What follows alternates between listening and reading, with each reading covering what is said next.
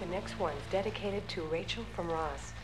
Rachel, he wants you to know he's deeply sorry for what he did and he hopes you can find it in your heart to forgive him.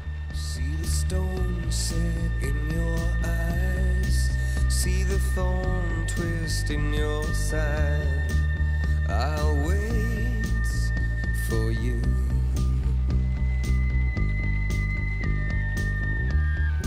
Sleight of hand and twist of fate.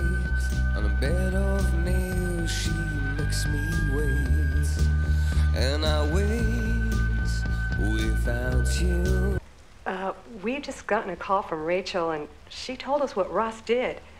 It's pretty appalling. And Ross, if you're listening, I don't want to play your song anymore.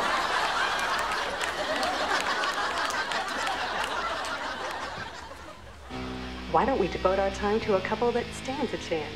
Avery, Michelle's sorry she hit you with her car, and she hopes you two will work it out.